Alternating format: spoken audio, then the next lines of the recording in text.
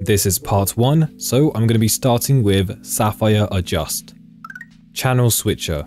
This lets you swap, copy, or mix the red, green, blue, and alpha channels however you like. I'm going to add this onto my adjustment layer. So already I can see these settings here. I assume what these do is let you switch the channel for another. The arrows are pointing to each channel. So for example, I could change the blues to red. So if I click this and select blue, all the reds have now been switched or replaced by blue. So before, as you can see, there is a lot of red around my image. And after. Each of these channels have something called scale and offset. So I think the scale is the brightness and the offset is the darkness. If I wanted to expose the reds a little more, I could increase it or I could decrease it. So less red, which brings out the blues and also the greens. This kind of reminds me of the tint effect with more control. So if I just increase the offset dark blues, for example, it's now got a blue tint, if that counts, but with more control because there are more settings. Clamp Chroma. This limits how intense the colors can get so they don't become overly saturated for broadcast, which I don't really care about, but either way I'm going to add it onto my adjustment layer. I think it's a fairly simple effect. You've got Clamp Chroma here, just determines how much color there is, so 0 makes it monochrome, 1 is the default value. I'm not really understanding how scale chroma works because when I increase it, it just makes it more saturated or overly saturated, mostly by bringing out the reds. So perhaps I could do this. Increase that and decrease this close to zero so we could go 0.13. Maybe leave the scale around 2. And clamp luma, I believe this stands for luminance which is the which are the brighter parts. So the window here, her face. If I increase it, it gets brighter. If I decrease it, it gets darker. Duotone. This turns your clip into two colors based on brightness. Dark colors become one color, bright areas become another. You may have seen this effect on posters and I think it's very commonly used by Photoshop editors. I think it was called two-tone or was it something else? I'm, I'm not sure. So I could decrease the softness so you understand what I mean. If I go zero, this leaves my image with just two colors and I can change them. So I could go for a red or a pink and it looks like this. Threshold here to control the, I don't really know, I guess how much there is, how much it spreads perhaps, or would that be the softness? I don't really know. Either way, with softness, it doesn't really look good when it's set to a higher value. Works best around zero depending on obviously, you know, what you're trying to achieve. So yeah, I like zero, it looks awesome. Mix with source if you want to blend it in a little instead of having it really prominent. Looks cool like this. Gamma. Adjusts how bright or dark the midtones of your image are without crushing blacks or blowing out whites. I would mainly use this effect to control the contrast because when I decrease the gamma, it brings out the colors, it looks way more red than before, and it also makes the darks darker. I know I'm the one that just read that description, but I don't really understand this effect. To me, it looks like contrast and saturation. So if I decrease the value for the gamma, it creates a very strong contrast and also it brings out the colors, mostly the reds. So if I were to increase it, it would have the opposite effect. Instead, I'd get a flatter image and also something that looks very overexposed. There's also these settings for the red, green and blue, just like before, so you can control each channel individually. It's got to be contrast, I can't really think of anything else because if I decrease the gamma for the red, or should I say if I increase it, it looks more flat. For now, I'm just going to consider this an experimental effect because I don't understand it, so I'm going to move on. Hotspots highlights only the brightest areas of your clip while keeping their original colors. It's funny because I've used this effect a few times, but just like Gamma, I don't really get it. If it looks good, it looks good. That's just the mentality I have with these effects. I will say though, you can create some really cool transitions using the threshold. And I did make a tutorial on this, so if you do want to check it out, the link is in the description below. Usually what I'd do is I'd keyframe it to 1 at the start, head a few frames ahead, and then decrease it, maybe back to 0, and that would create a reveal transition, um, sort of like a fade in, but better.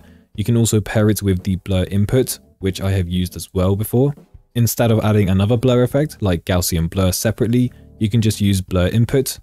Hue sat bright, which lets you change the hue, which is the color, saturation, which is the intensity, and the brightness of your clip. It's very likely that you might have used this effect before, or something similar that's built into After Effects or Premiere Pro.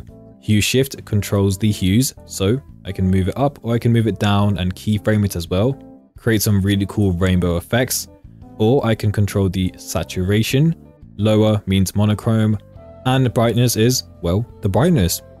Invert flips the colors of your clip. Very simple. If there's black, it turns white. If it's white, it turns black.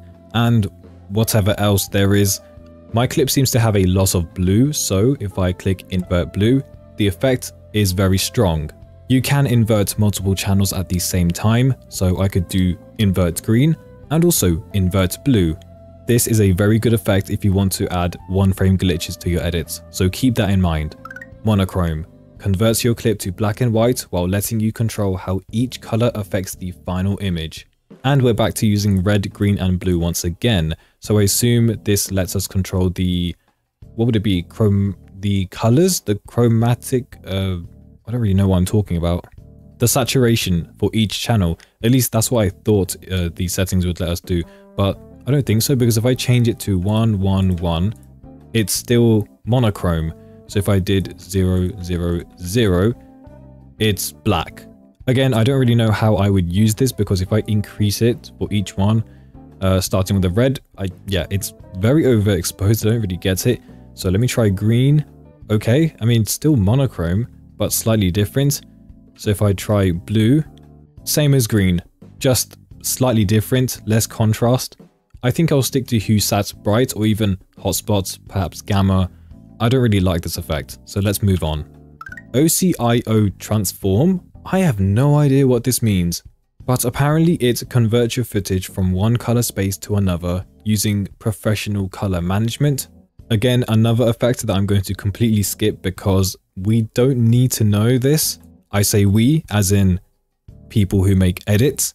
If you're editing a film, then this might be helpful, but for most of us, it's not. I initially thought this would work like the transform effect or warp transform, but no, it's completely different and very irrelevant to what we do, so we're gonna skip this. Quad tone maps the brightness of your clip to four different colors. I've never used this before, so let's try something. Let's go color 0 to red, color 1, let's go for blue or purple, color 2 yellow or green. And color color 3 leave it out white for now. It kind of reminds me of that rainbow frog if you remember that meme. Quad tone i'll keep that effect in mind if i ever do want to make a scene that looks very psychedelic because this is working really well. And what's great is that there is softness for each color and also brightness when it says softness is it like the one that we saw earlier for duotone only one way to find out if I set it all to zero. Yes, well, kind of. It's not exactly zero, but it's close to it, and it did achieve a similar effect to duotone. I can also adjust the brightness for each color. So color 2, which is... No, let's go color 0, which are the reds. If I increase the at bright, which is probably just the brightness, it begins to spread even more. Yeah, so around here seems to be the sweet spot after around 0.35 it doesn't really work. Not bad, a very unique effect, so if you do want more colors to mess with, just like with duotone, I would use quad tone. Oh wait, that makes so much more sense now. I didn't even realize that it's called quad tone meaning 4, duo meaning 2. How did I completely miss that? Anyways, we're to move on to save the embarrassment. Show bad colors. This highlights colors that are outside a safe or allowed range. I don't get it. I really don't. So let's mess around with the settings, see what happens. Oh, that looks awesome. So that's minimum and then maximum. I don't know what this does. I will be honest, I don't know what I'm doing. I think it's another effect that you can use however you like. Threshold. turns parts of your image completely on or off based on brightness, with optional softness. I feel like this is a copy of another effect, which we've already covered. Uh, it looks the same and it works the same. There's threshold, there's softness. The only difference is that the description is slightly different. I mean, I'm messing around with the effects. It looks kind of awesome. Then again, I don't really understand how I would use it. Maybe if I create masks or, I don't know, try and be experimental, think outside the box, who knows. Tint adds one color to the dark areas and another color to the bright areas of your clip. A very cool stylistic effect which I have used before, but it's been a very long time so I don't really remember. So I'm going to tint the lights for this first color. Let's use the eyedropper on the hair. So already I can control that. And tint darks is on the blacks. Source saturation is just the saturation if I want more, increase if I want less, decrease, scale light probably means brightness, so higher means brighter, lower means darker. And then there's the offset darks, which is just the darker parts. So if I go lower, there is more contrast, but also you'll notice that the colors pop out a lot, and that's probably because of the eyedropper tool that I used on the hair. Let's manually change this to something else. So tint darks, let's go for yellowy green. I don't really know what color that is. That's looking very flat. So what if I were to switch these around? Let me copy this so all I'm doing is flipping them around. And here's how it looks. That's awesome. Tritone. This maps the dark, mid, and bright areas of your clip to three different colors.